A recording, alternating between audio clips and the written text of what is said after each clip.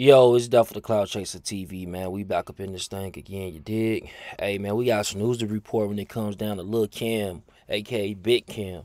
Now, uh, you went on Twitter, you know, you also got some tweets saying that, that uh, impossible, but I did that shit the other day.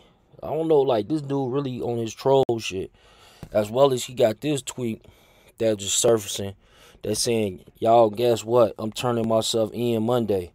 So like I just said in that live video I just did, um, if y'all ain't checked that out, check that out. I was basically breaking down the fact that Cam, Lil Cam, Big Cam, you know, if he is a person of interest, tomorrow, Monday, they'll probably be revealing that, putting out a warrant for his arrest.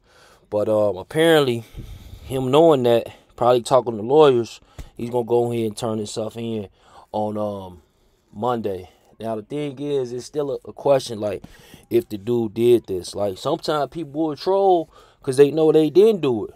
You know what I mean? But at the end of the day, he still can get some backlash from this. You know, and possibly I don't know how big, you know, he is in Houston, but you know, Migos, Takeoff, Offset, Quavo, you know, they got people all across the country. You know what I'm saying? That love them. So, you know what I mean. Um, I'm not sure if that's going cause an issue where, you know, he gonna get attacked when he go to jail.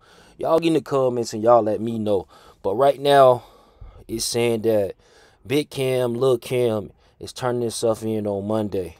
Also, you got another tweet up talking about the impossible. I did that shit the other day. Now y'all go to his uh his Twitter. It's Lil Cam fifth. You know what I'm saying?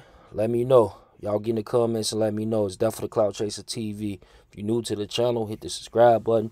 Share this on Facebook and Twitter. Gang.